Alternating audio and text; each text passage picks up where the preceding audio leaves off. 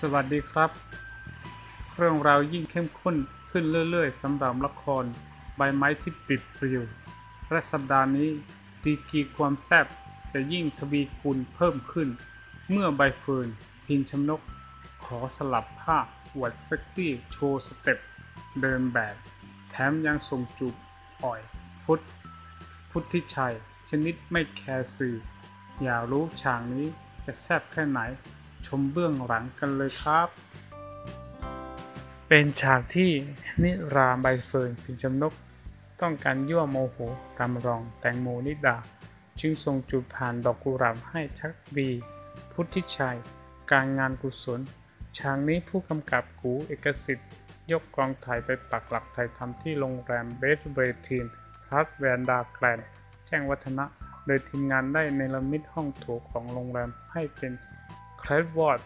งานเดินแบบสุดอลังการ เพื่อให้ใบเฟิร์นใช้โชว์สเต็ปสับขาเป็นนางแบบ สาวใบเฟิร์นซ้อมเดินสับขาบิดสะโพกไป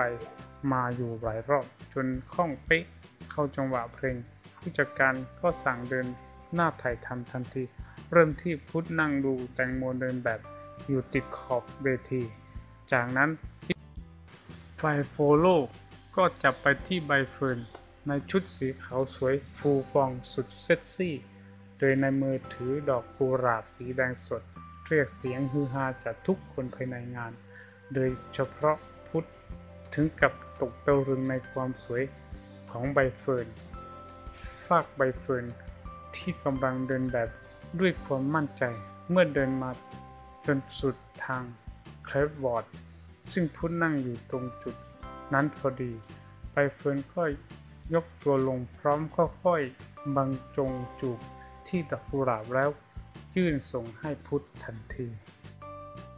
ด้านพุทธมองใบเฟิร์นรากับต้องมนต์สะกด ก่อนจะยื่นมือรับดอกกุหลาบจากใบเฟิร์นแล้วมาจูบตอบ ทั้งคู่ต่างจ้อง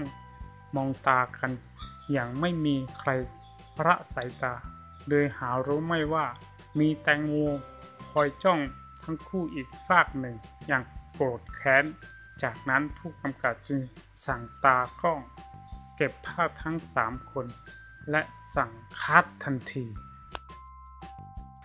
เอาละครับใบเฟิร์นพีจำนกกล้าร้องคองูจงอางหวงผัวอย่างแตงโมนิดาสักขนาดนี้ แล้วของจริงมันจะแซ่บสักขนาดไหน ติดตามชมได้ในละครใบไม้ที่ปิดปลิวนะครับ